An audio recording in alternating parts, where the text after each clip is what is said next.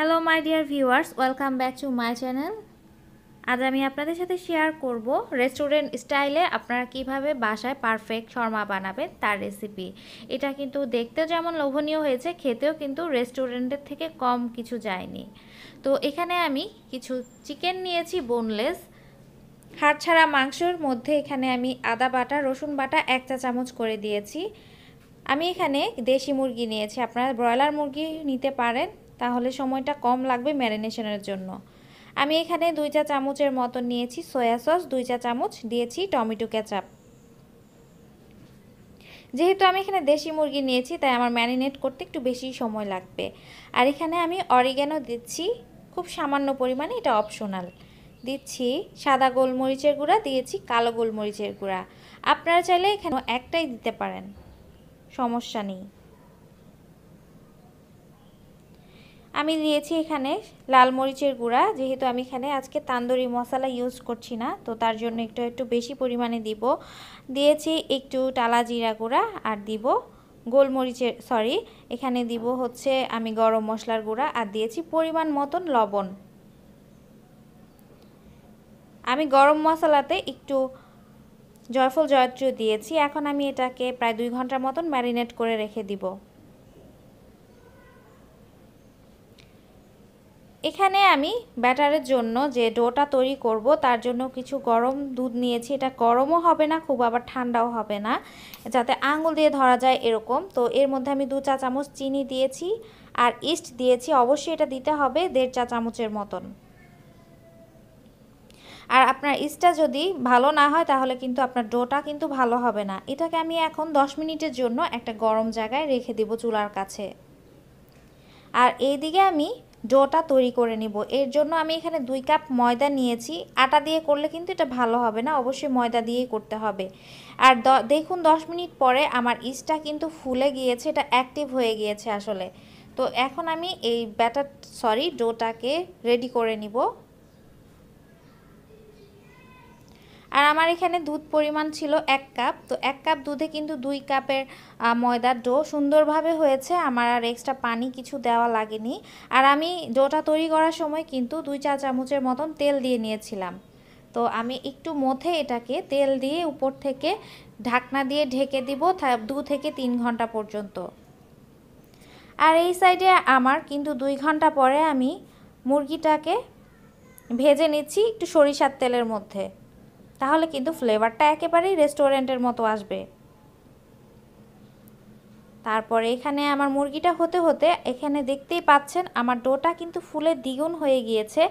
এখন আমি এটাকে মথে বাতাসটা বের করে দিব। আর 10 থেকে পনেরো মিনিট পর্যন্ত এটাকে মধ্যে থাকব। আমার মথা হয়ে গিয়েছে, এখন আমি এটাকে চারটা ভাগে ভাগ করে নিব। আর আপনারা চাইলে কিন্তু এই পরিমাণে পাঁচটা রুটিও বানাতে পারেন, কিন্তু আমি চারটা বানাচ্ছি। আমার এখানে কেউ পাতলাও করতে পারেন, কেউ মোটাও করতে পারেন, সেটা আপনাদের উপর ডিপেন্ড করবে। রুটির পুরুত্বটা কেমন রাখবেন? আর এই ডোটা দিয়ে কিন্তু আপনারা পাউরুটি বার্গার বানও বানাতে পারেন। তো আমি আজকে বানাচ্ছি হচ্ছে শর্মার রুটি। তো এটাকে আমি একটা ননস্টিকের প্যানে রুটি যেভাবে সেকি সেভাবে সেকে নিব। এখানে কোনো তেল দেওয়ার প্রয়োজন পড়বে না, এটা এমনিতেই হয়ে যাবে। আর রুটিটাকে কিন্তু পোড়া দেওয়া যাবে না, এটা সাদা সাদাই হবে। তো দেখতেই পাচ্ছেন কেমন হয়েছে। এটাকে কিন্তু বারবার উল্টিয়ে পাল্টিয়ে দিতে হবে। রুটি যেভাবে সেকতে হয়, সেভাবেই কিন্তু সেকতে হবে এটাকে। না হলে কিন্তু আপনার রুটিটা শক্ত হয়ে যাবে।